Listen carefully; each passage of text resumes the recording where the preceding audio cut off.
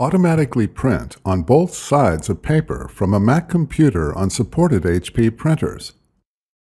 By default, OS X installs printers using the AirPrint driver, which might allow for two-sided printing. Remove the AirPrint driver and use the HP driver for best results.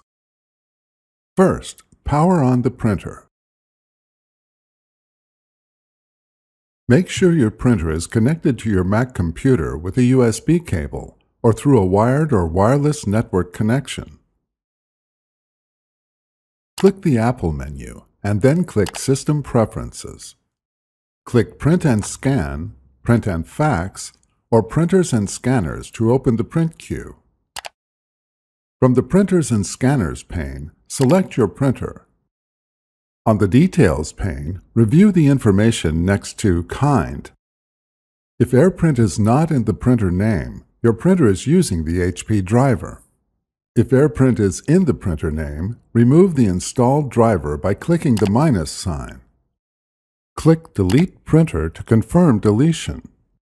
Reinstall the printer by clicking the plus sign. If necessary, click Add Printer or Scanner. In the results of detected printers, select your printer. Click the Use drop-down menu and select your printer name. Do not select the AirPrint driver. Click Add. The printer enables using the HP driver. Enable the duplexer from the driver settings to create two-sided prints. Select your printer that is now using the HP driver and then click Options and Supplies. Click the Options tab and then select the checkbox next to HP Two-Sided Printing Accessory Duplexer. If your printer supports duplexing and this option is not available, duplexing is already enabled. Change the print settings to print on both sides of the paper and then save the settings as a preset for future print jobs. On your printer, load the input tray with enough paper to complete the entire print job without exceeding the printer's maximum capacity. On your Mac computer, open a document to print. Press Command and P on your keyboard, or click File Print to open the Print dialog box. Click the Printer drop-down menu and select your printer. If no settings display in the Print dialog box, click Show Details. Click the checkbox next to Two-Sided. Click the middle drop-down menu and then select Layout.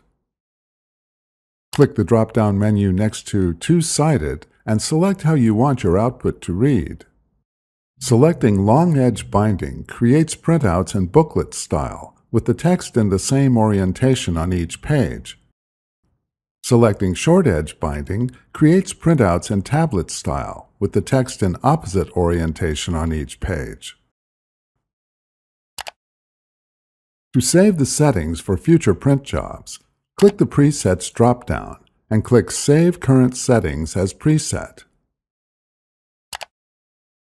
Name your preset, and then click Print. The document prints on both sides of the paper, according to your settings.